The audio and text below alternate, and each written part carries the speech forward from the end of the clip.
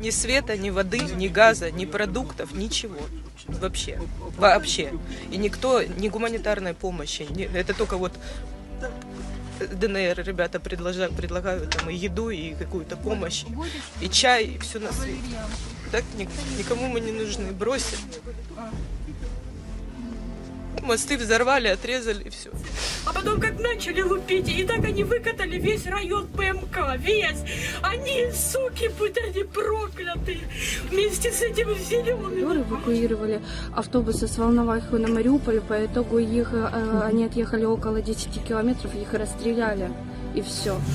В час дня уже с города начали лететь снаряды, мы просто не смогли подняться, вернуться за Из города стреляли? Да. Дочь так и осталась в Мариуполе. Да, ну, Связи с, с ней есть с ней? нету связи вообще.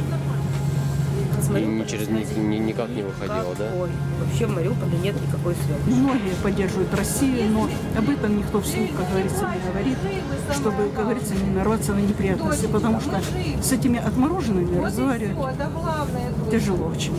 Почему в эту сторону пошли? А куда я пойду? Я русский, куда я пойду? Меня убили.